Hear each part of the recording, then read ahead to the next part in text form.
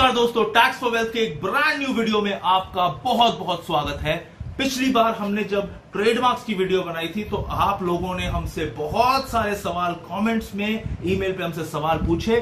हमने आपके सवालों का जितना जवाब दिया है, उसके बावजूद हमें रियलाइज़ हुआ कि ग्राउंड्स ऑफ़ रिजेक्शन एक बहुत इंपॉर्टेंट टॉपिक है। उस पर भी आपको एक वीडियो कंटेंट देकर आपकी सारी क्वेरीज दूर की जाए कि ग्राउंड ऑफ़ रिजेक्शन इतने क्लियर कर दिए जाए आपको कि ये रिजेक्शन के ग्राउंड्स क्रिएट ही ना हो आपकी अगली आने वाली वीडियोस में, आने वाले ट्रेडमार्क एप्लीकेशन में। देखिए, सबसे पहले तो ट्रेडमार्क की एप्लीकेशन का प्रोसीजर समझिए कि ट्रेडमार्क की सबसे पहले एक एप्लीकेशन फ़ाइल होती है। उसके बाद वो स्क्रूटनाइज होती है।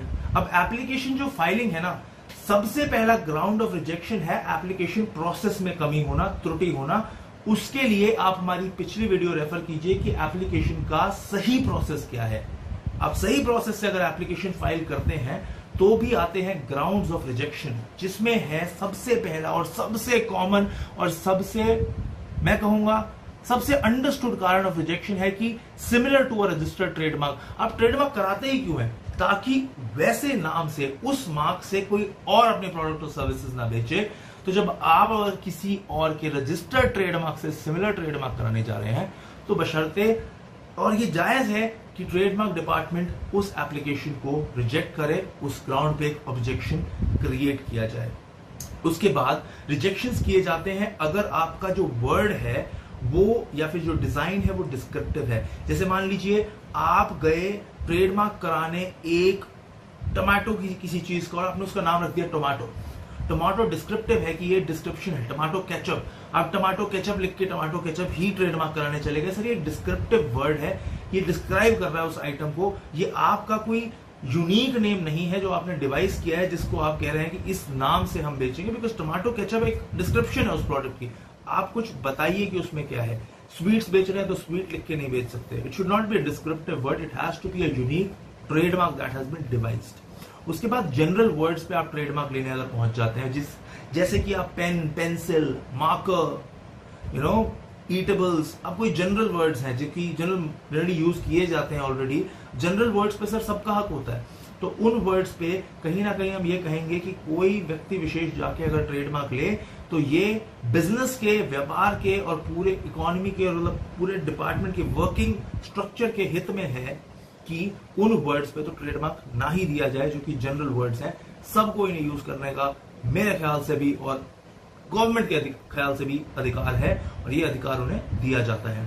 कोई ऑफेंसिव टर्म्स किसी व्यक्ति विशेष, किसी जाति या किसी कम्युनिटी की भावनाओं को ठेस पहुँचाने वाले शब्दों पे भी, उन डिज़ाइन पे भी आपको ट्रेडमार्क नहीं दिया जाता है।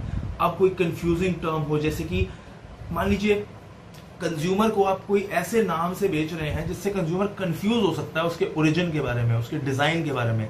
आप मान लीजिए कि कोई चीज़ बनाते तो हैं कहीं और से और ना उसका कोई लेना, ना कोई देना, और आप उसके ऊपर लिख देते हैं फॉर एग्जांपल बीकानेरी। बीकानेर से उसका कोई लेना देना ही नहीं है प्रोडक्ट का, ना प्रोडक्ट का, ना प्रोडक्ट के इनिशियल स्टेजेस का, ना फॉर्मूले का। और आपने उसके ऊपर लिख दिया बीकानेरी बिकॉज़ बीकानेर एक बहुत ज़्यादा पॉपुलर चीज़ है। जब हम खाने पीने की बात करते हैं तो वो भी जो कंफ्यूज कर सकते हैं ना टर्म्स और डिज़ाइन उस पर बहुत ही अच्छी बात कहूँगा। ये कंज्यूमर्स के राइट में कंज्यूमर्स के फेवर में गवर्नमेंट का बहुत अच्छा डिसीज़न है। गवर्नमेंट की बहुत अच्छी एक थॉट है कि वो इन पे आपको ट्रेडमार्क्स नहीं देते हैं।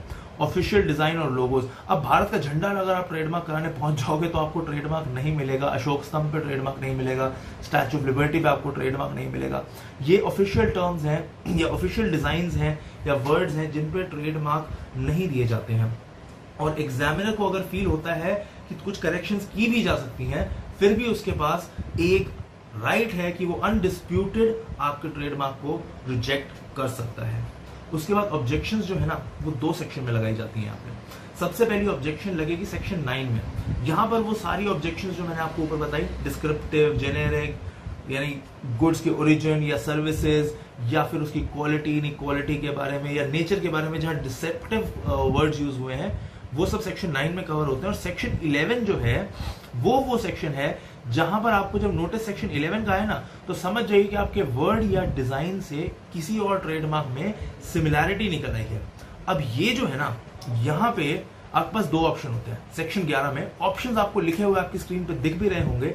सबसे पहले तो नो ऑब्जेक्शन एफिडेविट लीजिए उस ओनर से। सबसे पहला ऑप्शन ये है कि आप जाइए उस ओनर के पास, उससे कहिए कि जो थोड़ी सी कॉन्फ्लिक्ट है ना सर इस पर हमें कोई ऑब्जेक्शन नहीं है। ये भी आप किसी प्रोफेशनल की मदद से ही करें एडवाइस ही है। चाहे तो आप खुद ओनर से बात कर सकते हैं उस ट्रेडमार्क की बट प्रोफेशनल से मदद लीजिए, आपको उसके कंडीशन मिल जाएँगे, जिन कंडीशन पे वो आपको नो ऑब्जेक्शन देना चाहेगा। या फिर कंटेस्ट कीजिए कि ये जो मार्क है, ये डिफरेंट है। इसमें आपको प्रूव करना पड़ेगा। पहली बात तो इसकी डिस्टिंक्टिवनेस आपका मार्क क्यों डिफरेंट है उस मार्क से? और ये दो सेपरेट मार्क्स में कैसे डिस्टिंग्विश करेंगे? आने वाले टाइम में आप दोनों और पूरी मार्केट ये आपको प्रूव करना होता है। सेक्शन 11 की रिजेक्शन बहुत कॉमन रिजेक्शन है। आमतौर पे आती है और दो आपके पास ऑप्शन जो है मैंने आज आपको बता दिए हैं।